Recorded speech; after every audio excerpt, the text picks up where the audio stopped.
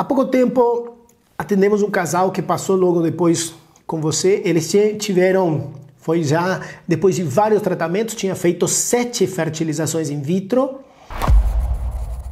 e, e eu percebi que tinham feito só um espermograma comum antes de fazer todos esses tratamentos. Foram sete tratamentos, inclusive um dos últimos com óvulos doados, porque não conseguiam embriões de boa qualidade com os óvulos próprios, uma mulher de perto dos 40 anos, mas menos de 40 anos.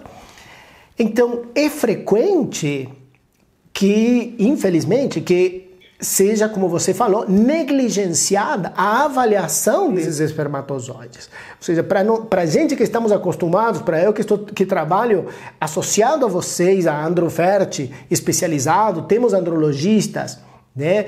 E a gente entende que a, essa avaliação mais detalhada realmente pode fazer uma grande diferença. Isto é real? O que produz essa fragmentação que está me preocupando tanto de que uma paciente faça sete fertilizações in vitro com os óvulos próprios, óvulos doados, não tenha conseguido bons resultados, até com óvulos doados.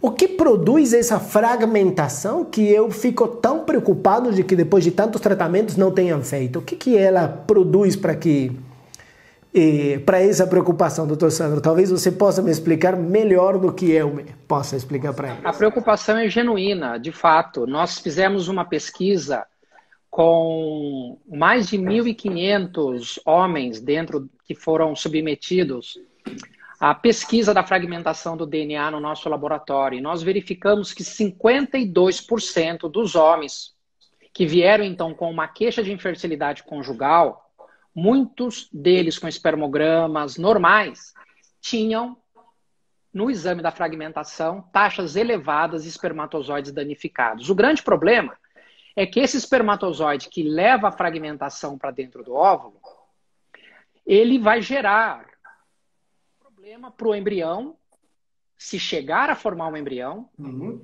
mas ele pode, muito antes disso, nem chegar a formar o embrião. Então, muitos casais enfrentam dificuldades sem saber que estão com um problema masculino, e porque o espermograma aparentemente está normal e tem lá um DNA espermático alterado. Então, esse material genético do espermatozoide, que é fundamental para acoplar com o material genético do óvulo. Então, essa fita masculina, ela entra com a fita do DNA feminino e forma, então, esse embrião, esse processo da fertilização, desenvolve um embrião viável, que vai implantar no útero materno e depois vai gerar esse bebê saudável.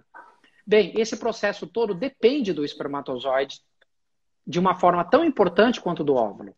E o espermatozoide com o DNA fragmentado, alterado, tem dificuldades de formar esses processos fundamentais na formação do embrião. Uma das coisas que nós sabemos, e já estudamos, e tem diversas pesquisas nessa área, é que, por exemplo, uma taxa elevada de fragmentação do DNA espermático, ela piora os resultados da fertilização in vitro.